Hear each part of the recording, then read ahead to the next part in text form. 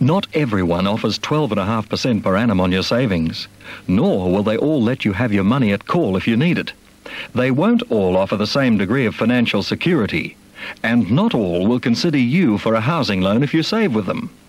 In fact, just one source offering 12.5% per annum on a savings investment account can also claim to be the largest lender for housing in Australia. The Commonwealth Bank, making money come to terms with people.